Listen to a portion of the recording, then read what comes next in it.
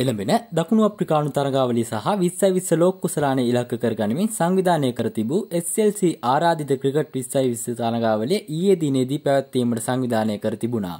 ඒ පල්ලෙකලේ ජාත්‍යන්තර ක්‍රීඩාංගණයේදී ඊයේ දිනේදී ඇදහැරුණු දැඩි වර්ෂාව නිසා තරග දෙකම අද දිනට කල් දැමීමට කටයුතු කළා. අද දිනේදී ක්‍රීඩාංගණයට පැහැබර කාලගුණික තත්ත්වයක් තිබෙන බැවින් අද දිනේදී එම තරග දෙකම පැවැත්වීමට කටයුතු කිරීමට හැකියි. දසුන් ශානකගේ නායකත්වයෙන් යුතු අලු සහ අශාන් ප්‍රියන්ජන්ගේ නායකත්වයෙන් යුතු කොළ කණ්ඩායම් අතර තරගය අද සවස් 2:30ට ආරම්භ වීමට නියමිතයි. අද රාත්‍රියේදී දිනේෂ් චන්දිමාල්ගේ නායකත්වයෙන් යුතු රතු කණ්ඩායමත් ඇන්ජලෝ පෙරේරාගේ නායකත්වයෙන් යුතු නිල් කණ්ඩායමත් අතර තරගය ආරම්භ වීමට නියමිතයි. මෙහිදී නිල් කණ්ඩායමේ නායකයා වන ධනංජය සිල්වා විවේක ගන්නවා සිටීමට කටයුතු කර තිබේ. අද ආරම්භ වන තරගයේ අලු පැහැති කණ්ඩායමේ සංජිතය මෙසේයි. නායක දසුන් ශානක, චරිත් අසලංක, විනෝද් බානුක, ලසිත් ක්‍රූස්පුල්ලේ, හිමාශ ලියනගේ, බානුක රාජපක්ෂ, කමිල් මිශාර නුවනිදු ප්‍රනාන්දු චතුරංගද සිල්වා ලහිරු මදුශංක මිලින්ද සිරිවර්ධන උදිත් මදුෂාන් නුවන් ප්‍රදීප් චාමික ගුණසේකර මතීෂ පතිරණ කොළ කණ්ඩායමේ සංචිතය මෙසේ. නායක අශාන් ප්‍රියන්ජන් කමිදු මෙන්ඩිස් ලහිරු උදාර මහේල උඩවත්ත ක්‍රිෂාන් සංජුල